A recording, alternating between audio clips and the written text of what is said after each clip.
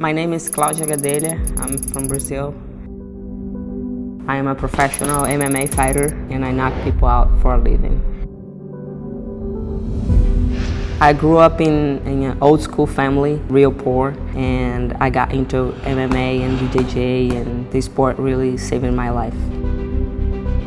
I don't expect no one to come to watch my fights because I am beautiful face. I expect them to come because I'm a real fighter. I respect all fighters, but my objective is to knock them out. I'm the number one contender. I belong there.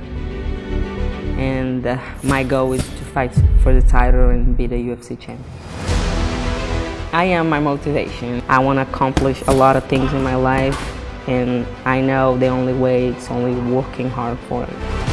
I fell in love for BOMBERG about a year ago and I really like the brand because they are leaders, they're not followers.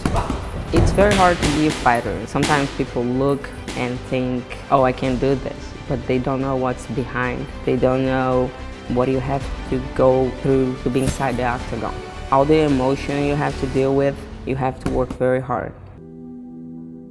Don't be a follower, be a leader.